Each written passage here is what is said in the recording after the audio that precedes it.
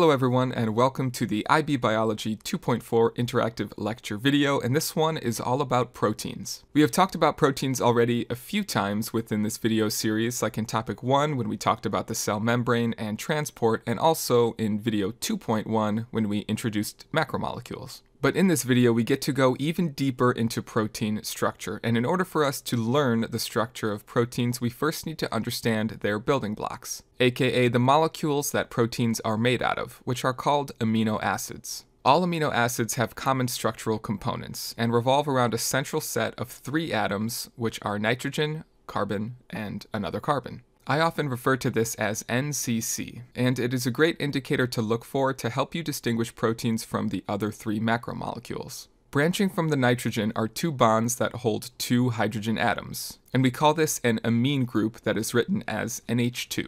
And branching off of the end carbon, we have a double bond with oxygen and a single bond with another oxygen bound to a hydrogen, which can be written as COOH. We call this a carboxyl group. Now, the central carbon here is really important. It is already bound to the other nitrogen and carbon that make up the NCC backbone, and in addition, it shares another single bond with a hydrogen, and another bond with another structure. Now, this structure here is nothing that you have to memorize because it changes based on the amino acid. And because it comes in different forms, we usually write this as a variable group, noted with a capital R. So it is often called the R group. There are 20 different amino acids that we know of. Each one has a different structure connected to that central carbon that takes the spot of the R group. We can see here an image that gives us a small representation of all 20 amino acids. And the thing to note here is that the only difference between all of these structures is that variable R group. Otherwise, the core structure of the amino acid with the NCC backbone, amine, and carboxyl groups are all the same. Each individual amino acid has a unique name. Take a look and see if you can find the name of this larger amino acid pictured here.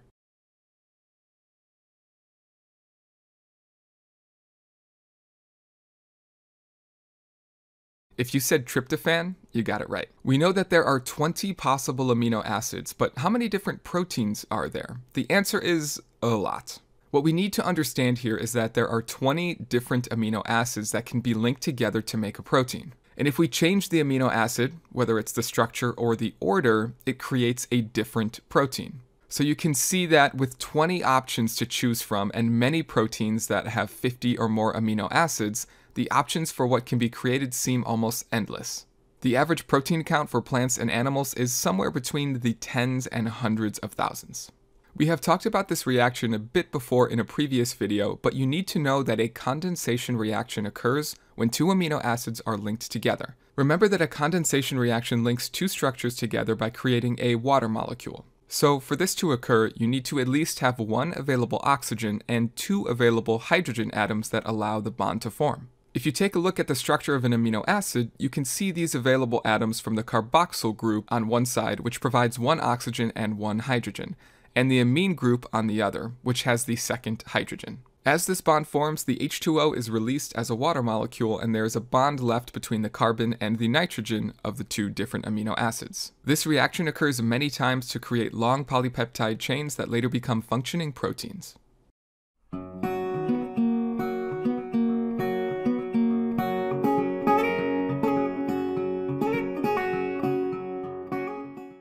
Now, proteins are pretty cool because they can take on some amazing shapes, and we need to understand how proteins create these shapes as it has everything to do with their structure. When amino acids are linked together in a simple chain, we call this the primary structure of a protein, which again only details the peptide bonds that hold the amino acid together. From this information, we can extract the order of amino acids that make up the primary chain. Once a primary structure is formed, it usually does not stay that way. It instead ends up coiling in on itself, which can form patterns that we call secondary protein structure. These common patterns are primarily alpha helices and beta pleated sheets. Both of these structures are created when a hydrogen bond is formed between the hydrogen within the amine group of one amino acid that is attracted to the oxygen within the carboxyl group of another amino acid within the same chain. Depending on how these hydrogen bonds are oriented, the result is either an alpha helix or a beta pleated sheet. The next level of structure a protein will fold into is its tertiary structure, which is when there are more interactions that take place between the side chains, or those variable R groups that we talked about. So in this situation, we could have an R group from a beta pleated sheet bond with an R group from an alpha helix. This continues to fold the protein in a unique way that in turn gets it ready to perform its specific function. These tertiary interactions often include variable groups bonding via ionic interactions, polar associations, hydrogen bonds, and disulfide linkages, also called disulfide bridges. The last level of protein structure is called quaternary, which we're actually going to talk about a bit more on the next slide. Understanding these structural levels of proteins is very important, so make sure to study them and all of their associated bonds and formations. We know that proteins are made up of chains of amino acids that fold into a final structure, but the highest level of protein structure is actually made out of more than one polypeptide chain. So you can think of it as multiple tertiary structures coming together to make a larger structure that has a specialized, unique function. We call this a quaternary protein, which was also noted on the last slide. A commonly used example of this is the protein hemoglobin, which is pictured here. Hemoglobin is a unique quaternary protein because it is made up of four different amino acid chains, which you can see here as two blue and two red. On each of the four chains is a heme group which contains a central iron atom. It is the heme group that makes this molecule able to hold on to oxygen and transport it around the body within red blood cells. And again, the important thing to note here is that this structure contains more than one tertiary protein structure making it a quaternary protein that you can't live without. When proteins are created and folded properly, they are able to do their job, just like the hemoglobin on the last slide is used to carry oxygen around the body in red blood cells. But what happens if the shape of a protein changes dramatically? The simple answer, it doesn't work anymore. If a protein structure gets altered to the point where it can no longer function, we call it denaturation. This can happen to proteins within the human body based on changing conditions, which primarily are temperature and pH. Our body works to maintain a stable internal environment, and the proteins in our body work best at the average temperature. If the body becomes too warm, it can disrupt the hydrogen bonds that help give proteins their shape and hold them together, causing them to fall apart and denature. Additionally, a drastic change of internal pH within regions of the body can alter the overall shape and solubility of a protein, resulting in the loss of function. For this reason, the body also works to regulate and stabilize pH levels to be appropriate based on the location. Like the stomach, for example, is supposed to be acidic, and the proteins within the stomach work properly in a low pH environment. In other locations of the body where pH is supposed to be neutral, the proteins that work there are most efficient when the pH is near neutral.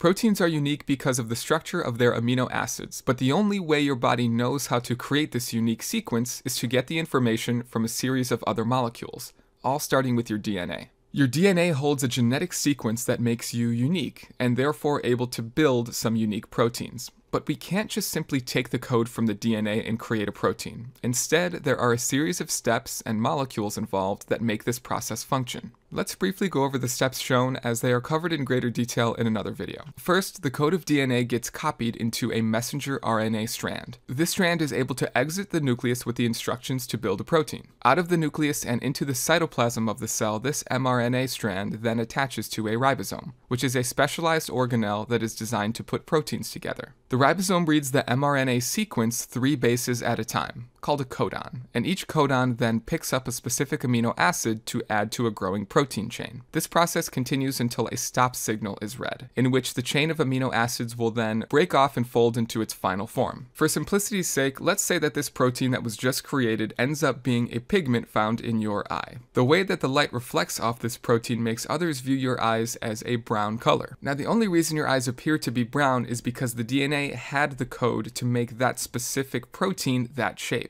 Another person that has a bit more green in their eyes would have a different DNA sequence that would lead to the creation of a different mRNA sequence that would in turn create a different protein. The main idea being your genes and genetic code end up ultimately determining how you build the proteins in your body. As I'm sure you already know, different organisms can create a wide range of proteins that they use for very specific functions. If we look at some general categories of proteins, we have things like enzymes, antibodies, and other hormones that help with a large amount of functions at and above the chemical and cellular level. But we can get much more specific than this. And for the IB exam, you need to know of a few specific examples of proteins that organisms make to showcase their great molecular diversity. So let's name them and talk about what they do. First, we have insulin, which is a very important hormone that helps balance your blood sugar. Insulin specifically sends signals to your body to lower your blood sugar and works in opposition to another hormone called glucagon that signals for your body to raise your blood sugar levels. These two proteins working together ensure that your blood sugar remains at a relatively stable level. Next up is a protein called rubisco, which is an abbreviated name. This is an important enzyme found in plants that helps the process of photosynthesis.